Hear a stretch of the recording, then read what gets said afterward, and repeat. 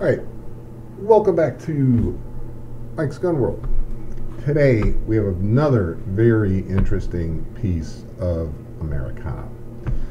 We have a Winchester Model 1873. Uh, this is actually a Model 3. Uh, the variants having to do with the dust cover on top and the slide.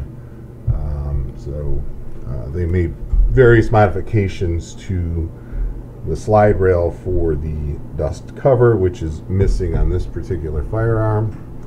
Um, it's serial number 431,000 and some change.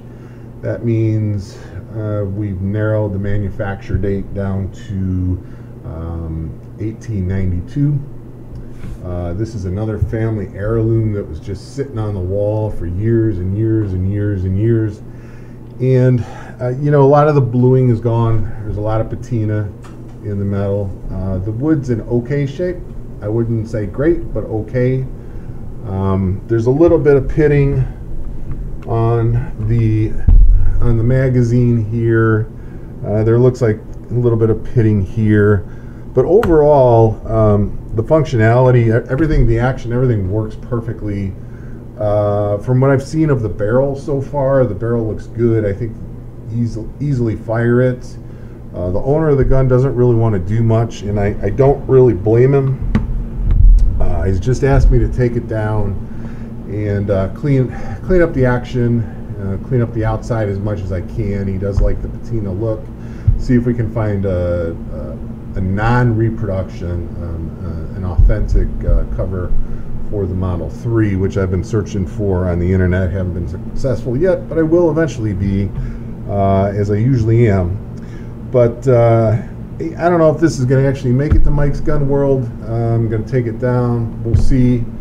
Uh, we'll see how it goes. Maybe it will, maybe it won't. But uh, this is uh, really, really a nice firearm. It was given the moniker of the gun that won the West. So this is chambered, like I said, in, in 32. It says 32 WCF on the gun, which is 3220. Um, I think they made these in 44, 4440, 3840, um, and I do believe there's a 22. Production in these stopped somewhere in the early 1920s. I want to say 1921.